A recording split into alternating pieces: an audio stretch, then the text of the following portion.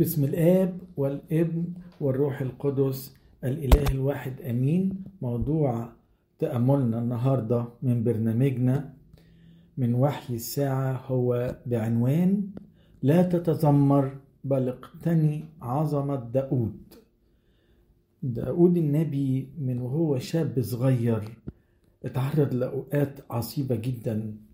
يعني كان أولها زي ما ذكر هو مهاجمة دب وأسد له. وازاي ان هو بنعمة ربنا قدر ان هو عليهم ويغلبهم ونجا من الأسد والدب بعد كده نلاقي المخاطرة الشهيرة بتاعته ان هو يروح يحارب جلياط الجبار الفلسطيني اللي كان مواصفاته مرعبة في هذا الوقت والجيش كله ما قدرش يحاربه وانتصر عليه بنعمة ربنا. وبعد كده تعرض داود لمطاردات كثيرة جدا من شاول الملك والجيش بتاعه وهما بيطاردوه علشان شاول كان غيران منه. وبعد كده حتى لما ثبتت المملكة في إيدين داود وبقى داود هو الملك بدون منازع دخل في حروب كتيرة مع أعدائه لغاية نهاية حياته. ومش كده وبس. ومشاكل مع ابنه أبشالوم وغيره مشاكل كتيرة تعرض لها داود. لكن نلاحظ إن في الكتاب المقدس إن داود ما كانش بيتذمر بالعكس داود ده بتاع التسبيح والمزامير الجميلة. ما زمرش على ربنا ابدا عشان الأتعاب اللي عانى منها. لكن كان له روح تانية. روح إن هو شجاعة وإزاي إن هو شايف اللي بيعمله ربنا إنه بينتصر بنعمته بقوته.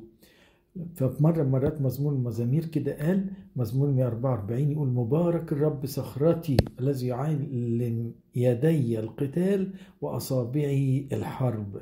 يعني اعتبر إن هو الضيقات اللي جت دي كلها ربنا من خلالها والحروب والمشاكل علمه حاجات كتيرة قوي. عشان كده مبارك يعني بيباركه يعني بيشكره يعني بيحمده. داود اعتبر الحرب اللي قادها كملك مسؤول عن شعبه وإن دي حروب مقدسة حروب مقدسة بتاعت ربنا. الأعداء عايزين يهينوا اسم ربنا وعايزين يبيدوا شعبه وهو يسكت فكان نظر لها كده. عشان كده هو كان بيجري على الحروب دي مش كان إن هو حاسس ان هم عليه وإن هو ليه يا رب. العكس. وعشان كده داود حارب إظهار لمحبته لربنا.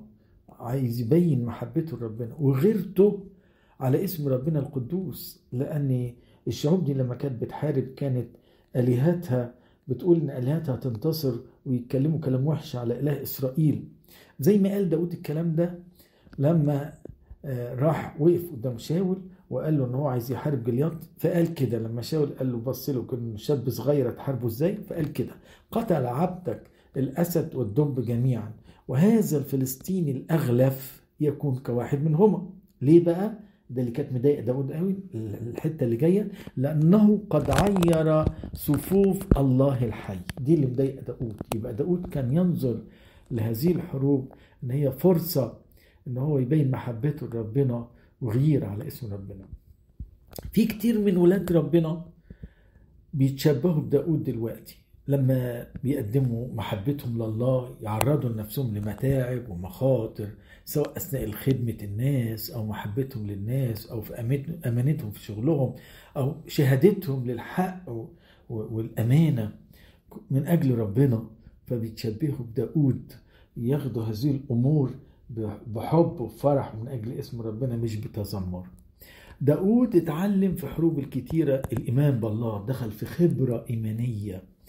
اتكل عليه بشجاعة وغلب وانتصر زي ما بيقول كده فقال داود داود قال كده للفلسطين كلم جليات وقال له الكلام ده أنت تأتي إلي بسيف وبرمح وبترس وأنا آتي إليك باسم رب الجنود إله صفوف إسرائيل الذي عيرتهم. كان حاسس بقوة ربنا إن هو ده إيمانه إنه معاه ربنا وعشان كده هينتصر. ولاد ربنا برضو بيتعرضوا لضيقات كتير ومشاكل كتيرة بيعتبروها فرصة يزوقوا ويختبروا الإيمان. أصل الإيمان ده لازم يختبر بطريقة عملية وندوقه ونعرفه بطريقة عملية. ما ينفعش أقول أنا مؤمن وبس. لازم تيجي شدة أختبر هذا الإيمان وأتصرف بإيمان وأشوف قد إيه ربنا قوي وهنا هو بطريقة عملية. يبقى اختبرت الإيمان وعرفت إيه هو الإيمان. داود النبي اتعلم من خلال الضيقات والأتعاب اللي جت عليه خبرات كتيرة ودي كان لها دور شديد كبير جدا في صقل شخصيته. زي ما إحنا قلنا وزي ما بنقول في المزمور 18 الذي يعلم يدي القتال فتحنى بذراعي قوس من نحاس. يعني اشتد عوده وقدر آه القوس النحاس ان يحنيه بإيديه. إيه القوة دي؟ صقلت شخصيته. ربنا وإلهنا ومخلصنا يسوع المسيح برضه اتقال عنه حاجة عجيبة قوي. رغم إن هو ابن الله وإن يحل فيه كل ملء اللاهوت جسديا لكن كإنسان اتقال عنه إنه هو تعلم الطاعة مما إيه؟ مما تألم به. يعني إيه تعلم الطاعة؟ يعني كإنسان من خلال الضيقات اللي جت عليه والمشاكل كان بينمو زي ما اتقال عنه كده بينمو في القامة والنعمة والحكمة عند الله والناس. كان برضو كإنسان خبرات بياخد خبرات شديدة جدا وكبيرة جدا وعظيمة جدا من خلال الألمات والمشاكل اللي بيكتسب كإنسان بقى مش بتكلمش ك... ك... كإله لأنه كإنسان عاش اللاهوت ما كانش كان سايبه ياخد خبراته ما رفعوش وما نططوش نطة كبيرة جدا بحيث يبقى يبقى إيه يبقى برة مش زي بني البشر لا كان زي بني البشر. يبقى تعلم الطاعة مما قد تألم به. إذا كان المسيح اتقال عليه كده أمال إحنا كبشر محتاجين قد إيه نتدرب من خلال الضيقات والمشاكل اللي بتيجي علينا تدريبات عشان ننمو في طريق الكمال. ودي أهمية الضيقات اللي بنجتازها في حياتنا.